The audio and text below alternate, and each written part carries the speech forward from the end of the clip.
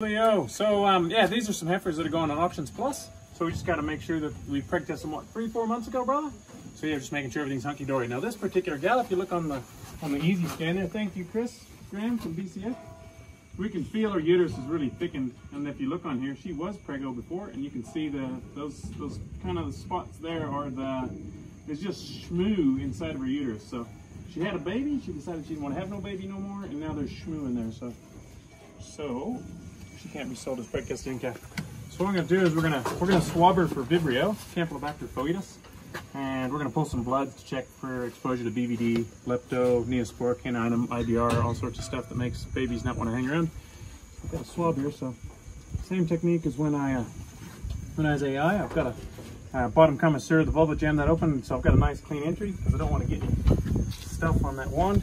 And then just like an AI, I'm just gonna kind of grab this cervix kind of drag it back towards towards the vulva so I can get a nice deep um, rub of stuff inside the vagina. So we're just looking for stuff that's remained. And then we've got special media that we'll send off to the ag department. So ready to go. Just got one of those balls. Thanks, salmon meals. So just gonna hold on that really tight and I'm gonna take and bend this so it breaks. And the twist. And hopefully that's short enough that you can screw that lid down on it. Cool beans. That's one. And then can I get another one? Because I got another. We got a couple different medias there that we can put it in. So I need another. The, the other stick, please. Stick. Think about sticking to the beanpole ads in the magazines. That ain't it. This thing. Again, gonna. Whoa! Check this out. Look at this smooth coming out of her vulva. Look at that. Let's get some of that action. Oh yeah. So that's uh that's uh, boarding shmoo. So if whatever caused her to abort should be in that shmoo. Can I get another one? Because I'll stick some of this shmoo up in that other one. Uh, She's shmoo loaded. Here, let me grab the, the lid off the other one. Yeah.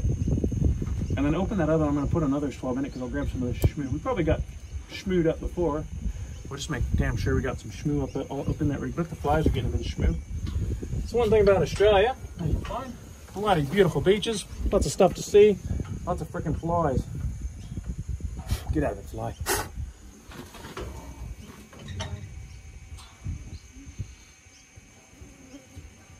Key to this job is to keep enough shit all over yourself that the flies land on it instead of you. Um, all right, so that's that done. Now we're just gonna collect some blood. I'll take that. And then I got red tube. The red tube that we got. Oh, yeah, sorry.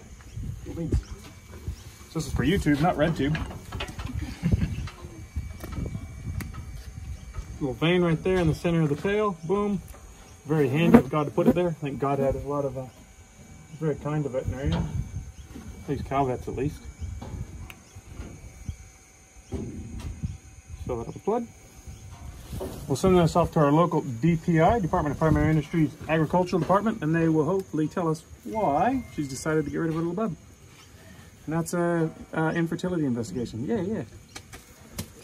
We get an answer for her, we can help the rest. Hey, we might eat this instead. Cheers, team. That's good.